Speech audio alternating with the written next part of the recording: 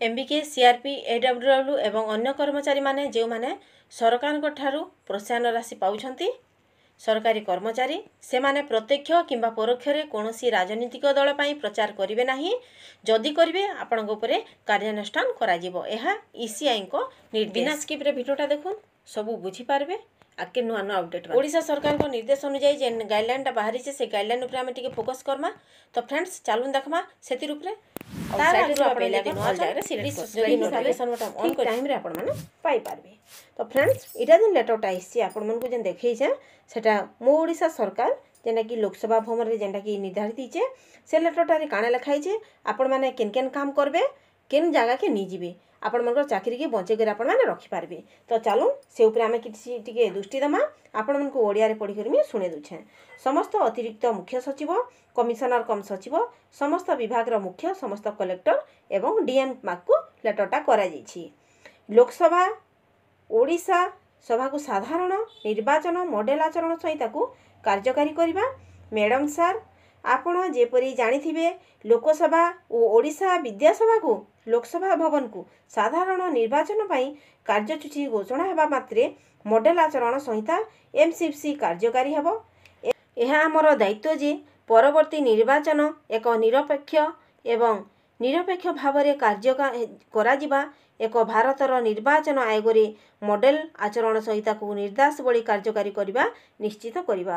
Model ଆଚରଣ ସଂହିତା ତାମାନେ ଯେନ୍ଟାକି ଆପଣମାନଙ୍କୁ କୁହାଗଲା କୋଡ଼୍ ଅଫ୍ କଣ୍ଡନ୍ ସେଟାକେ ମଡେଲ ଆଚରଣ ସଂହିତା ସହିତ ନିମ୍ନଲିଖିତ ନିର୍ଦ୍ଦେଶ ଗୁଡ଼ିକୁ ଯତ୍ନର ସହିତ ପାଳନ କରିବା।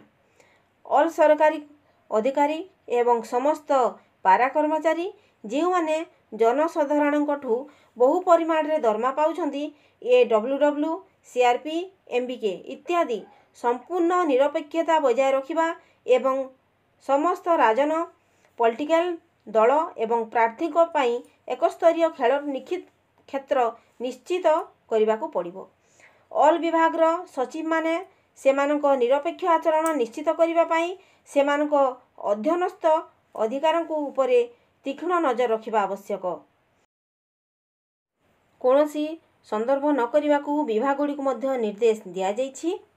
ମୁଖ୍ୟ ଶାସନ ସଚିବ ଓଡ଼ିଶାର ଅଧ୍ୟକ୍ଷତାରେ ସ୍କ୍ରିନିଂ କମିଟି ଗଠନ ହେବା ପୂର୍ବରୁ ଏହି ପ୍ରସ୍ତାବଗୁଡ଼ିକୁ ରଖିବାକୁ ପଡ଼ିବ।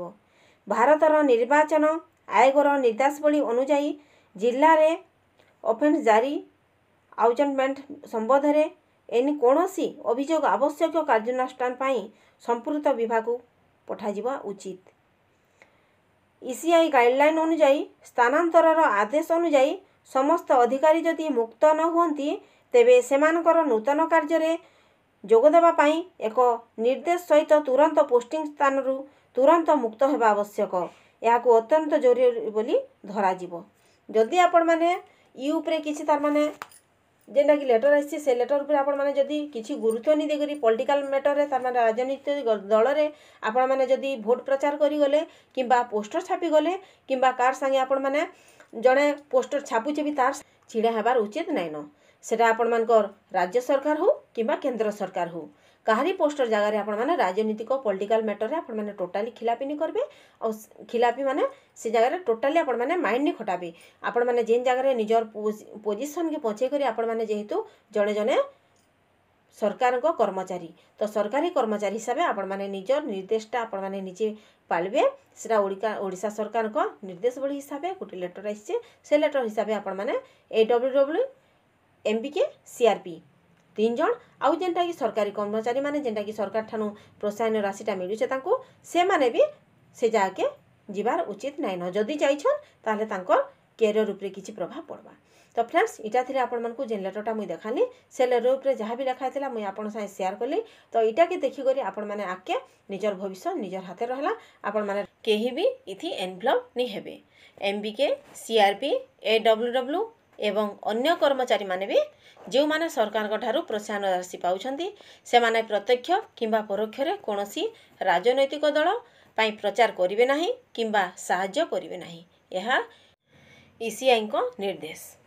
ତ ଫ୍ରେଣ୍ଡସ୍ ଏଇଟା ଥିଲା ଆପଣମାନଙ୍କ ଲାଗି କିଛି ଇନଫର୍ମେସନ୍ ନେକ୍ସଟ ଭିଡ଼ିଓରେ ଆପଣମାନଙ୍କ ଲାଗି କିଛି ନୂଆ ଇନଫର୍ମେସନ୍ ନେଇକି ଆଇମେ ଯେନ୍ଟାକି ଆପଣମାନଙ୍କର ଏରିଆ ବାବଦରେ।